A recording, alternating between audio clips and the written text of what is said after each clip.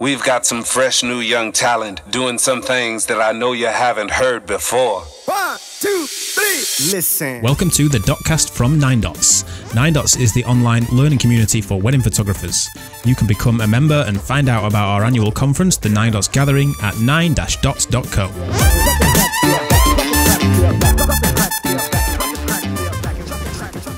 Hello, everybody. Welcome back to the Nine Dots Dotcast. Uh, today it's me, Adam Johnson, and Andy Gaines, Hey, hey, hey. and Rahul Khona. Yo, yo. And I just thought, I mean, I was, I was doing some research, and I just wondered if have you guys heard of this thing? It's called the coronavirus. It might be something topical for us to discuss. It's a pretty huge thing for the industry. I mean, there was a time, I guess there was a time a week or two ago when we were trying to be like, okay, let's not all talk about the coronavirus all the time, and then, you know, you kind of realized it was it was going to take over the world, and it has done, and now it is the topic on everybody's lips. So it needs to be the topic on the dot on the lips of the dotcast today. Yeah. And uh, but yeah, I mean, how are you feeling, Andy Gaines, about the, its impact on you right now at the moment? My well, p- my personal impact right this minute. Um, I am currently in my home office, surrounded by two school children who are being forced to isolate themselves from school due to them having tickly coughs. So I've currently got uh, the next 14 days. We're all unable by the new government guidelines to leave the house. So that's proving interesting for the last two days. Um, and I've also just had a wedding, my highest paying wedding this year um, has postponed indefinitely for, yeah, for the foreseeable future. So that's, yeah, that's some, that's some, some impact for me right there. Tricky times.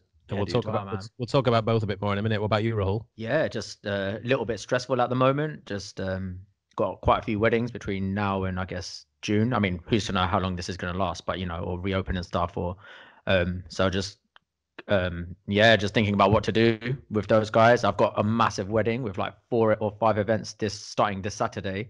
Um, but the dad is like really high risk and very, Yeah. very, very high risk. And they were planning on having 800 people in a marquee in their back garden. So everything there is up in the air. Um, I in what way? In, in that they they don't want to cancel, but they're kind of feeling that like they are going to, or or just it's just 50-50. It's not 50 50. It's certain. Well, so the wedding reception is off. The actual reception is off. And they had another thing called a Sanji, which is like a dancing kind of night. Uh, that is also cancelled. Um, they've invested a lot of money into it. So they're going to have some sort of wedding. But as I said, the dad is so high risk. It's not even a question of 50 50. It's a question of life or death. Uh, Okay. you know yeah no honestly it is because um if he if he does um get it they, they think there'll be no way back. Um so we i don't know. It might go from 800 people to just 30 people and me- basically. All, yeah, all, all pretty, uh, pretty uh, it's serious pretty stuff, eh? intense. Yeah Um, yeah. And I guess I'm guessing like you know all the photographers that are listening are all going to have similar similar stories of potential weddings being cancelled and all that kind of thing. And and like the, I guess one issue is we don't really know what's going to happen. So I suppose the main thing is like what uh, what can we maybe do to be kind of proactive and and do what we can to kind of keep things moving forwards or whatever. I mean, I suppose the first thing to that we've spoken about is that um, touch wood, most of the the kind of cases or most of the weddings that do have to cancel, they are going to be postponed, right? So they're not going to they're not going to go away forever. So, you know, firstly, I suppose the one light at the end of the tunnel is that we can, you know, hopefully get on and still shoot those weddings down the line when the situation is relaxed and the you know when things kind of get back to normal. I suppose. Yeah, I mean, uh, to me, the the heaviest the heaviest anxiety, I guess, at the moment is that is that so much of it is unknown. So we don't know the Yeah, answers right. to a lot of these things. You know, almost like Rahul saying, you know, he, he doesn't know whether he's even going to shoot that wedding this weekend. And then there's the there's the added like massive perspective that I think we all need at a time like this. Of there's a family member at that wedding who it's life or death for them.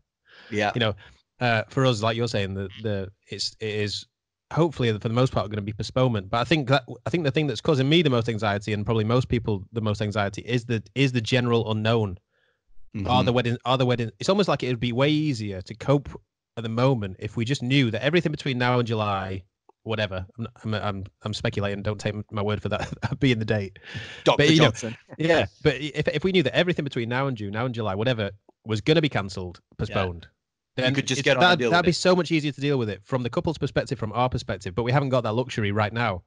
Mhm. So, yeah, and I know that the three of us, our our general philosophy is we have to keep moving things forward, regardless of that that anxiety around all the unknown, the best that we possibly can with our clients, with our businesses, with ourselves, with our families, you know, all of it.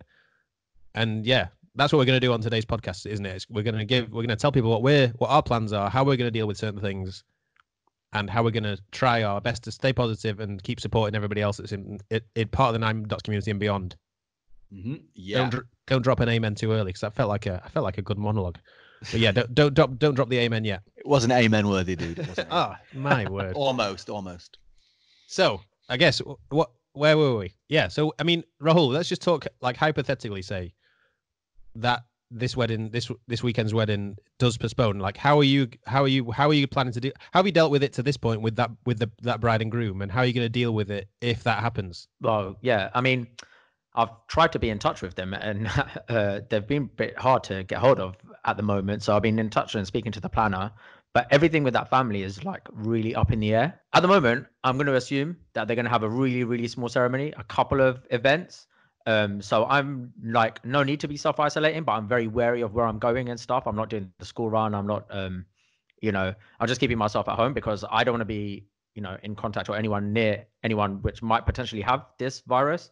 Uh, especially if I know that I'm going into someone else's house who is got a very uh, big health issue. Do you know what I mean? So that's what I'm doing at the moment. I'm in my head. It's as if it's gonna go ahead. Um, I don't think they will postpone. Uh, they've invested way too much money, and there's no government to say, or like you know, no thing to say that this can't happen at the moment, and they're gonna make, keep it really small anyway. So Yeah, yeah. I'm just in contact with them all the time. Like, well, mainly with the planner over WhatsApp. But the bride, like, rightfully so, is, is really upset. Um, so it's like, yeah. So I don't really want to be adding stress to her. So I'm not really even talking to her. Like, normally I would never speak to the planner this much. This is the most I've ever spoken to a wedding planner, um, because I like to always have the relationship with obviously the bride and the groom.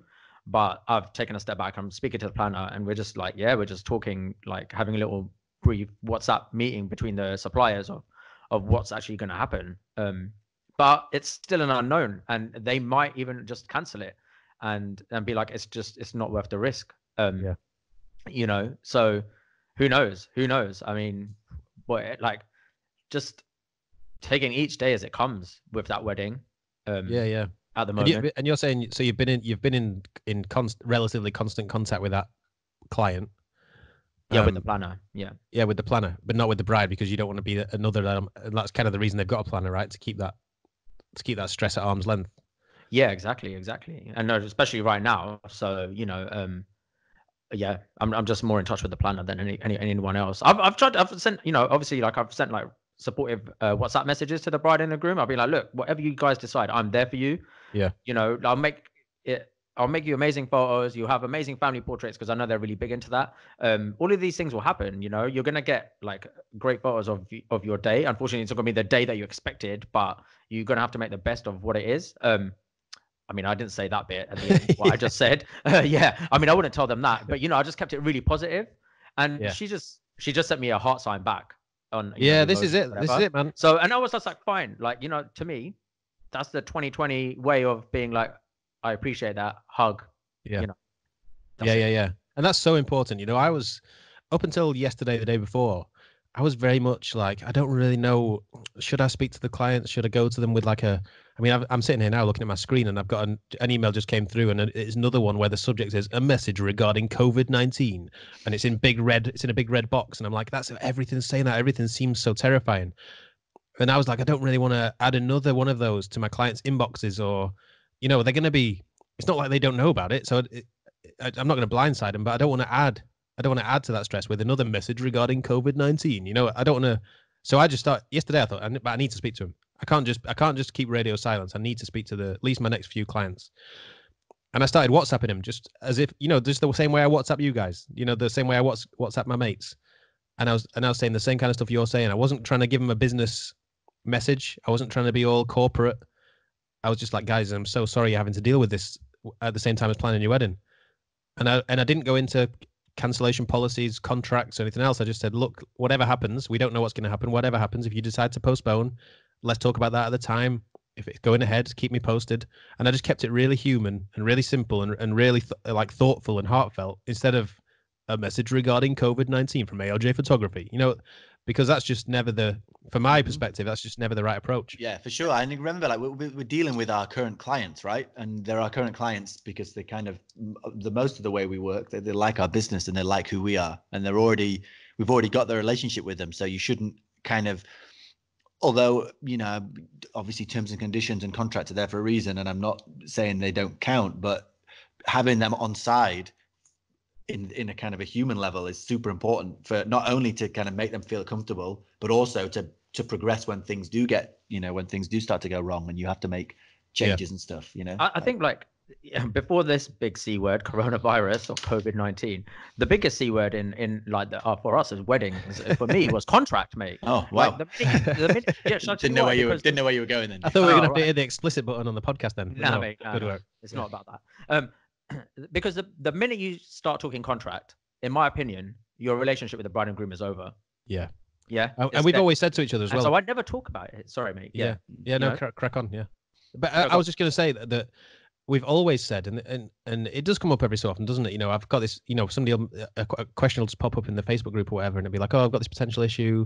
Contract says this," and we've always said, our always party line, I guess, almost has always been a contract is only ever a la- an absolute last resort when the shit hits the fan between the two of you. Yeah. And I don't. And at this point, you know, there's, uh, everybody's talk really in the in at the moment in photography land is how, how do I enforce my cancellation policies? Can I enforce my cancellation policies? Can I get these fees? Can I get them to pay then? And this, that, and the other. It, when in reality, I don't think the couples are thinking like that. The couples are mostly going to, like you say, 90 odd percent of the time are going to be t- thinking in terms of postponement rather than cancellation. They're not going to be checking their contracts every five seconds to check what their cancellation policies are and all the rest of it. They're just going to want to know that we're going to be there for them and we're going to and we're going to work with them as much as we possibly can as mm-hmm. as things change and move. So it's not like stage one move to contract. It's that's that's always going to be the last resort if you can't resolve things in other in other more human ways with your clients. I think. Yeah. Yeah, I Agreed. agree totally. Yeah. So yeah, I mean, and we're not, we're, and we're definitely not contract law experts. We're not going to try and be contract law experts. There's a lot of that floating around the industry at the minute, contracts and jar in law, like legal jargon and all the rest of it. We're not going to, we're not, we, we can't ha- profess to have any expertise in that area whatsoever so we're not going to try. But I, I guess I guess the advice that I'm giving is though, um, speak to your clients. Don't try and don't think that saying nothing is better than saying something. My, and, speak, the, uh, and also, but speak to your clients as like human beings and not yeah. not people you have a contract with, even though you've exactly. got a contract with them. Because... They don't need a they don't need a corporate message. Yeah. Yeah, they don't need a corporate message. And I, as soon as I, as soon as I'd spoken to my next few wedding um, couples, I felt way better to, because I'd said something their re- their reaction was unexpected. You know, they were concerned how I was feeling as much as anything else. They were so happy that I'd heard from them. Well, the first one that I spoke to said her heart sank when my name popped up because she thought I was going to say that I wasn't coming. This wedding is not till May, by the way. And like, I mean, realistically, we it seems like May's. You know, who knows? But I, it wasn't me saying I wasn't coming. It was me saying, look, I'm here. I'm thinking of you. Can't be easy if the wedding happens, I'm there. If you have to postpone it, let's work together on the on the on the postpone on the date you're going to postpone to, and make sure I can be there when that happens. Mm-hmm. Uh, and if there's anything else I can do for you, that then you know, let me know. It wasn't it wasn't in any way corporate. It, again, I, I, did it by WhatsApp. It wasn't an email. It wasn't. A, it wasn't a. You know, that's the thing. The thing that I've realized most since coronavirus is how many people have got my email address because I've had COVID nineteen messages from about a thousand companies, and there's companies where you think I didn't even need to know what your coronavirus policy is. but it's good. It's good now. I do. yeah, crazy. Yeah. No, no, but yeah, that, no, so that would be that would be tip one, just to try and keep this. Uh, and yeah, and the other the other thing, I mean, I kind of mentioned it before, but but more or less, barring any, you know, more more or less, the same number of people who are going to get married this year and next year and the year after are all still going to get married they're just not going to it's just not going to be happening potentially in the next few months or some of it will, won't be happening in the next few months so yeah. like really i guess you know it comes like like i said before it is like an immediate cash flow issue as opposed yeah. to anything else you know if you're still in business in a year's time people that were hoping to get married this year are potentially going to be getting married then or the year after so you know like for me that's quite that's kind of a you know it's, it's a it's a good thought to, to to keep in mind you know yeah, yeah, and and also, you know, realistically, people can't plan their weddings at the moment either. So it, it is going to slow down, potentially going to slow down new bookings. Yeah. People that you know, people that maybe haven't started to look at venues yet, they're not going to be able to go out and look at venues mm-hmm. realistically, or they're not going to want to. So it is going to slow down new bookings. And I know personally, the way that I, the way that I run my own business cash flow is, I have a predicted amount in every month for number of new bookings I'm going to get. So number of new deposits. I'm going to have to adjust that Yeah. For reality, based on the fact that you know, realistically, in the, while it's like this, while it's like it is now or worse, I'm not going to get any new, um, or it's going to be less than I was expecting. Um, so there's that as well. So I mean, and and that immediate cash flow, though, you know, not to play it down, that is a huge, it's going to be a huge, huge, huge problem to a lot of businesses Yeah, for sure, dude. For sure. that don't have a safety net or don't have a like contingency or whatever it might be. Mhm. So I guess yeah, I mean how how how would you how would we suggest people deal with that? I mean, there's obvious there's obvious things. I know somebody brought up a good tip in the in the group the other day about you know getting out a loan. Again, there's there's a lot of unknowns in that we don't really know what's going to be offered from the government to help small businesses like ours yet. Um, Mhm. I would I would hope and expect that there's going to be something at some point. I some- wouldn't hold my breath. I, I wouldn't but hold your breath on that one, mate. I'm not going to hold my breath, but I, I'm, I, I'm I like to be a I like to be an Yeah, yeah, I no, like that's to true. be Yeah, you, optimistic. the- the- yeah, you don't know what that is. That's true. Uh, Yeah. My thought process on that would have been I would like to hope and think that nothing is going to happen, so I need to fend this for myself. Well, kind you of can't, vibe. you can't hope that nothing's going to happen. No, I gotta as in, hope that like, yeah, yeah, the best expect. case is yeah, yeah. nothing. Yeah, expect. Yeah, you know. Um, Uh, but I I would I will remain optimistic on that front, and also that there are some murmurings coming out of banks that they are going to introduce uh, defer deferments on mortgage payments and things like that. So um, I think there will be things that will help people with those short term cash flow issues that I think our industry is going to be really susceptible to. Yeah, I think. See, the another thing that you know I've, I've been think, I've been thinking about is obviously when you, let's say many of the many of the weddings that are coming up are going to get postponed. Um, then that in a way is not is, is not the end of the world because we'll just shoot the wedding whenever it happens and we'll still get paid for this paid the same for the services. So you know to speak to those couples, you know in the first instance and just say to them, look, I'm gonna whenever you rearrange your wedding to, you know, as long as I'm free, I'll do it. Work with me so we can hopefully get, get the dates to match up. Yeah. Um, and I'm happy to lock the prices and everything in, but could you, you know, you could still ask for some or all of the balance due when it would have been due anyway. You know, because yeah. Potentially they'd have budgeted for that already. So it's possible that they're going to be able to pay you that money, even if the wedding doesn't happen next month, it happens in nine months or 12 months. But then again, you've got that, you, you know, you're going to get that cash in the bank to help with any immediate cash flow. Yeah, and again, I mean, this goes back. Everybody's uh, going back to the the original c word that Rahul talked about contracts and saying, "Oh, with contract this and terms and conditions this," and um, but you know, the realistically, the best thing you can do is make sure you keep hold of that booking Yeah. and ma- and make sure that. I mean, again, it just comes down to a human conversation. You know, see what they're happy with, see what you're happy with. It might be that they're able to pay the balance now, in which case cash flow sorted potentially.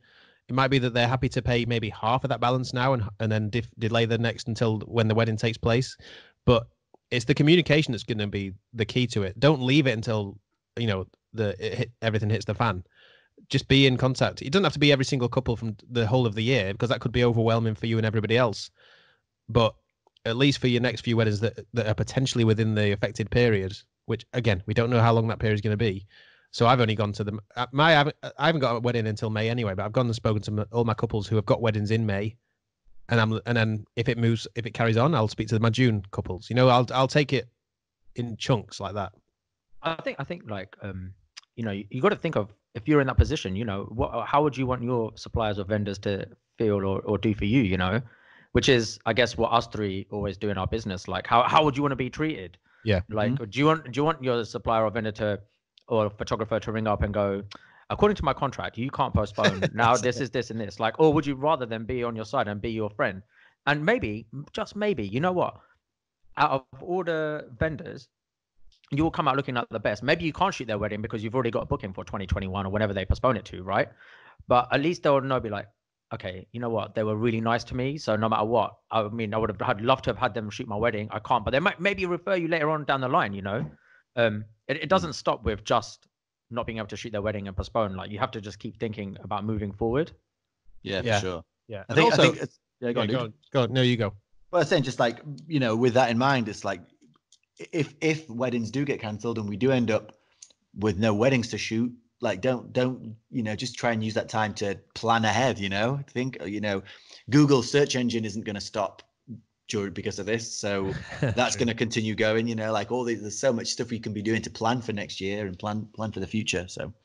Yeah it's a huge opportunity. Just just to finish the and that's I'll, we'll talk about that now but i just wanted to finish talking about the whole you know if people postpone if people cancel contracts etc i would say the best all you can do is make some basic plans. You know, there's going to be four or five eventualities, really. You know, in in reality of what's going to happen.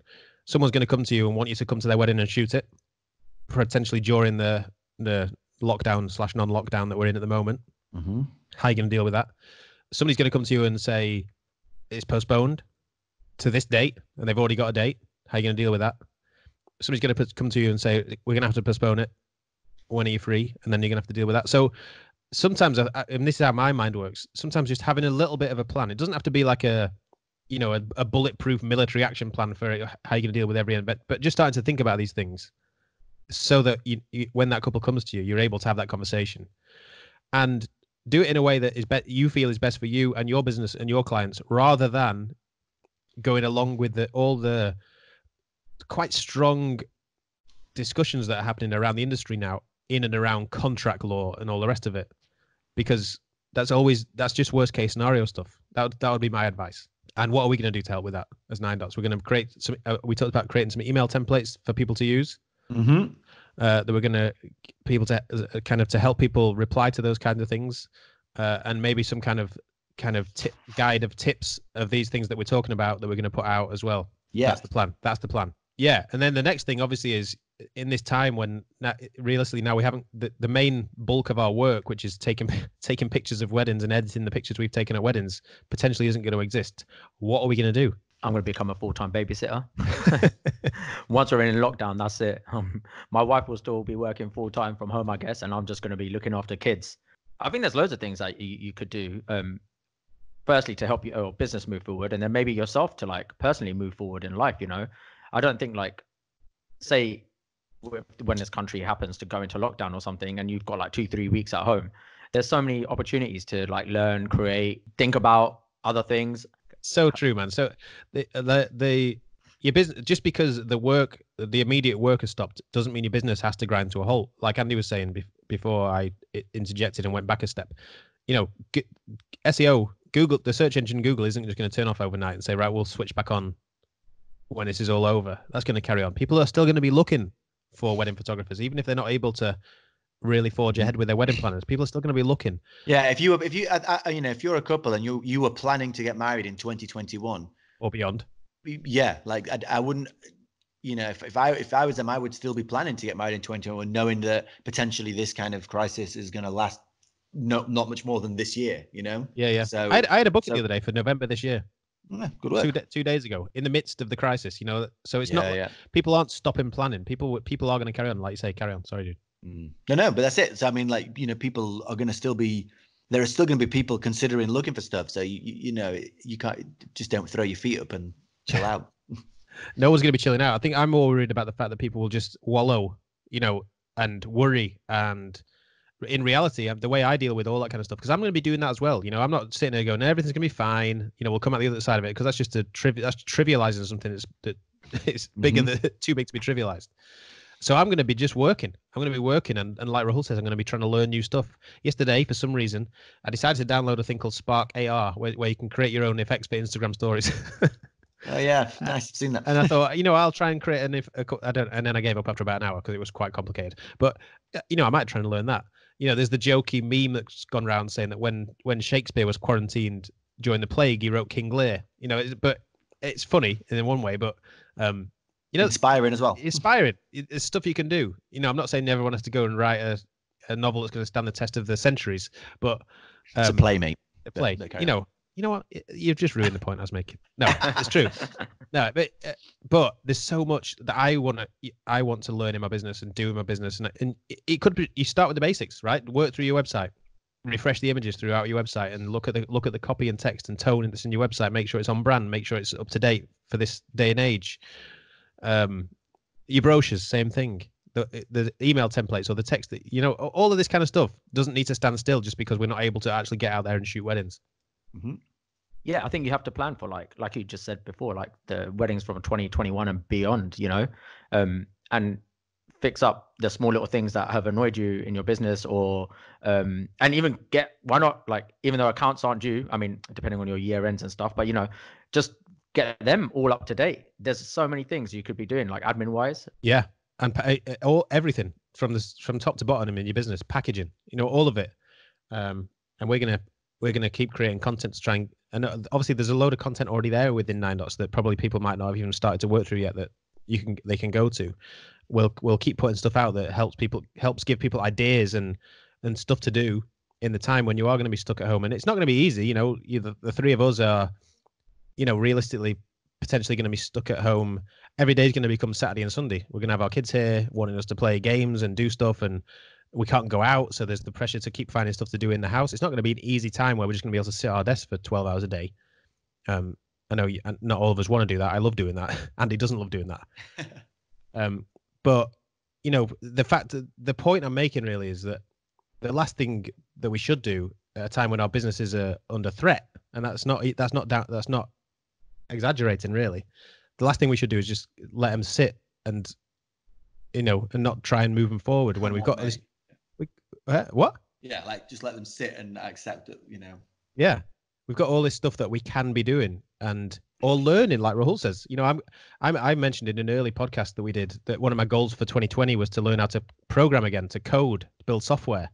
I'm gonna crack on with that. I'm gonna I'm gonna really get on with that and and and you know while I while I've got the opportunity or opportunity slash you know I have to sit in in my house. Yeah, Uh, I'm gonna do that. I'm gonna do those kinds of things. So uh, yeah, and you can really maybe forge ahead with your beekeeping. Who knows? Dude, I don't know. I don't know if the bees might be in lockdown as well. I need to check that out. I don't know. I don't know how that works. I'm gonna have to. I'm gonna have to do some research. I'm still Yeah. a newbie. I'm still a newbie in that world. But you got to stay positive. You got to stay positive, and you got to stay focused on what you can do in your business, not what not on what you can't do or you're being stopped from doing. I think. Yeah, for sure, for sure. Um, and obviously, like you like you said, you know, hopefully we're going to be dropping some like resources and, and ideas and some more kind of live things for people over the next few days and weeks to kind of try and keep people inspired and up to date and all that kind of stuff. So yeah, Yeah, the very at the very least, like how to how to make a little bit of a plan around the eventualities that are potentially going to happen in the next in the coming weeks, and some templates and some suggested wordings and things like that of how, of how you can deal with them. Yeah. I think that's good. Yeah, we'll do. What we're going to be doing what we can to help. some suggested good practices and ideas. Yeah, for sure. Yeah. So what we're saying, we're saying, stay positive. Yep. Keep talking to each other. Yep. This industry can survive if we if we talk to each other and help each other through this. And and yeah, and we're going to be doing our bit to help with that as well. Yeah. So, amen. Stay safe, people. And wash your hands. One, two, three. Listen. You can listen to previous episodes of the Dotcast anywhere people normally listen to podcasts, and you can find out more about Nine Dots membership and the Nine Dots gathering at nine-dots.co.